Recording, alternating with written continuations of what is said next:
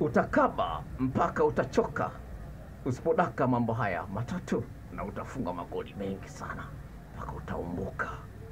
Hii ni mada ambayo imeletwa na dada ambaye yuko ndani ya ndoa, ana watoto wawili, mzuri sana, ana kazi yake nzuri, lakini mwanaume anachepuka kupita kiasi. Lakini mwanaume huyu huyu anayechepuka ana wivu wa kupita kiasi, hataki simu yake ishikwe. Wakati mwanzoni alikuwa anamruhusu mwanamke ashike mara kwa mara, na anashika simu ya kupekua simu ya mwanamke kila wakati.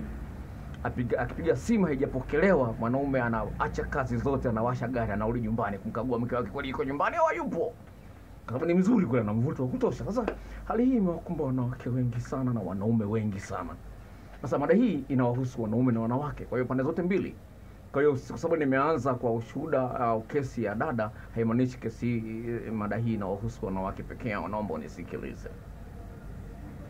Napozungumzia mambo matatu, ni jambo la msingi sana ufanye mambo ambayo yanakuwa na nguvu inayodumu kwenye akili ya mpenzi uliye naye, lasting impact kwa Kiingereza, lasting effect. Kwa unaweza kufanya kitu lakini kisiwe na nguvu ya kudumu kwenye akili ya mwenzio, akaona ah, nawe si upo tu. Ufanye kitu ambacho kitoka na nguvu ya kudumu kwenye akili ya mwenzio kiasi ambacho mtu anaendelea kuiona thamani yako hata baada ya kufanya tendo la ndoa na wewe au kuwa na mahusiano na wewe. Kuna watu wengi sana ambao hawajui jinsi gani ya kumsaidia mpenzi wake aweze kuendelea kumthamini au endelee kumtamani mara kwa mara, awe mwanaume au mwanamke. Na mambo hayo matatu ambayo nimeyaweka hapa yatakusaidia sana. Yaani ninapozungumzia kwamba utakaba mpaka utachoka, yaani utajitahidi kuwa na wivu utajitahidi kusema sana na haitasaidia mwanaume huyo abadilike au mwanamke huyo abadilike. Sawa? Yaani utasema sana, utasema ufanya mambo mengi sana kumsaidia mwanamke mwanaume huyo aache mchepuko au mwanamke huyo aache mchepuko, lakini utashindwa. Mama mmoja kutokea Tabora ndani ya ndoa miaka kumi na tano kachepuka, mwanaume kagundua miaka kumi na tano kutokea Tabora kachepuka na anakiri mbele za anakiri kwenye mesi, mume wangu amegundua anachepuka, na miaka miwili anachepuka mwanamke anasema sasa hivi sijielewi, sijui niendeleze hii ndoa au nisiendeleze. Anasema sijielewi, hizo sasa sielewi hii ndo niendeleza au siendeleza, kwa sababu mchapuko ni mtamu kuliko. Naomba unisikilize. Unaweza kufikiria kwamba anaongea vitu vya, vya, kuchekesha hapa au vitu vya kawaida sana, lakini no, nao ushuhuda wa kutosha wote ambao nimewasaidia. Sasa la kwanza, sawa, huamini kwamba unalinganishwa, sawa, huamini kwamba unalinganishwa. Unaweza kuwa unajua kwamba unalinganishwa na unaweza kuwa unajua kwamba unalinganishwa, lakini usiamini kwamba unalinganishwa. Maana yake nini? Ni hivi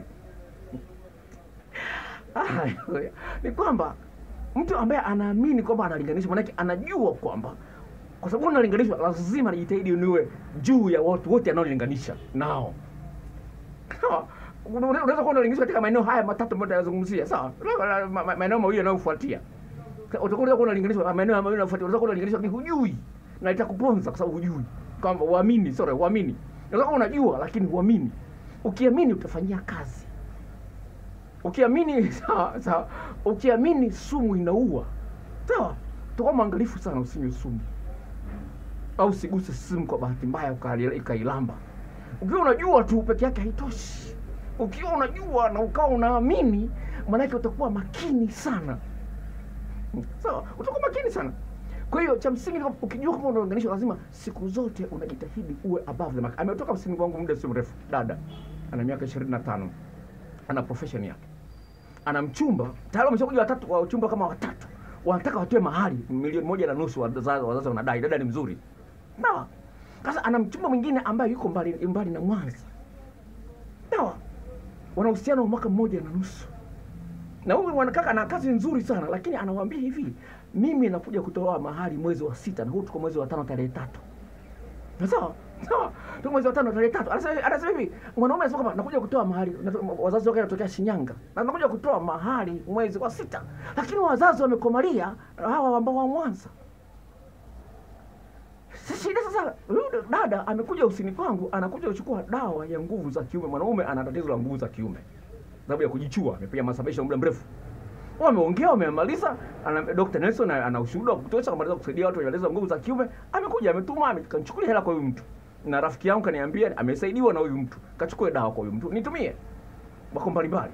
Amekuja na naongea naye huyu dada, namweleza ni kweli huyu mwanaume anakupenda akatoka na maelezo yote ambayo amenipa ni kweli mwanaume anakupenda lakini jinsi gani utadumisha mahusiano na huyu mwanaume hili jambo jingine tofauti nikamwambia unajua kufanya urafiki na ume unajua jinsi kufanya hizo nikamfungulia video moja kwa laptop yangu kamfungulia ikawa kitu kigeni kweli.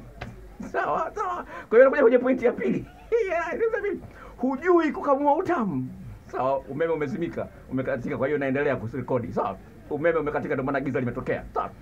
Ni kwamba hujui kukamua utamu. Lazima ujue mwanamke ana maeneo kumi na saba katika mwili wake ambayo yana miisho mingi ya mishipa fahamu. Ujue jinsi ya kuyashughulikia maeneo hayo ndio ambayo yanaweza kumsaidia mwanamke afike kileleni kwa haraka na vile vile asiboreke na wewe. Ukiwa unafahamu mambo matatu huyu mwanamke tafikia hatua katika ndoa ya miaka saba tisa kumi na nane ishirini thelathini no, atajua unaanzia wapi unaishia wapi. Kwa hiyo ataboreka na wewe. Unaitaka hiyo. Akiboreka na wewe ataanza kuchepuka. Akianza kuchepuka atakudharau. Mwanamke ujue kwamba mwanaume ana maeneo kumi na manne katika mwili wake. Ujue kwamba maeneo yenye mingi, mingi ya mishipa fahamu katika mwili wa mwanamke ni ipi ni yapi? Na jinsi gani ya kuyashughulikia ili asije akaboreka na wewe sasa kama hujui jinsi ya kuchezea korodani unajua tu kunyonya mboo basi. Kuchezea korodani hujui. Itakuponza hujui jinsi ya kuchezea. Sawa? Masikio ya mwanamke ya mwanamke au mwanaume hujui jinsi ya kuchezea kitovu cha mwanamke hujui jinsi ya kuchezea matako ya mwanamke hujui jinsi ya kuchezea sehemu ya nyuma ya magoti ya mwanaume hujui. Kwa hiyo unajua mambo matatu tu unajiona mjanja itakula kwako kwa hiyo jinsi gani utafanya mke wako au mume wako apizi kiasi ambacho anajua kwamba hakuna mwanamke mwingine hakuna mwanaume mwingine ambaye ameshanipizisha mpaka ninapiga kelele ameshanipizisha mpaka mwili unatetemeka ameshanipizisha mpaka ninakaribia kuzimia. Hajawahi kutokea mwanamke mwingine. Kwa hiyo hapo unaweza kitu ambacho kinang'ata kinang'ata akili yake kwamba bwana usiende mbali kaa hapa hapa. Sasa hayo lazima ujue jinsi ya kukamua utamu sawa sawa. Kimena hapo itakuponza. La mwisho ambalo ni gumu kwa mimi kulielewa je wewe ni mwongeaji? Au ni mwongeaji wa kupita kiasi? Au sio mwongeaji? Hii ni mada ambayo inakuja. Sawa nimeanza kuiandaa sawa. Nimeanza kuiandaa mada inakuja. Sawa wewe ni mwongeaji au sio mwongeaji? Na kama sio mwongeaji unachukua hatua zipi? Kuna watu ambao wameachwa kwa sababu gani? Hawajui kuongea. Ana sifa nyingine zote kama jongoo. Ana miguu mingi.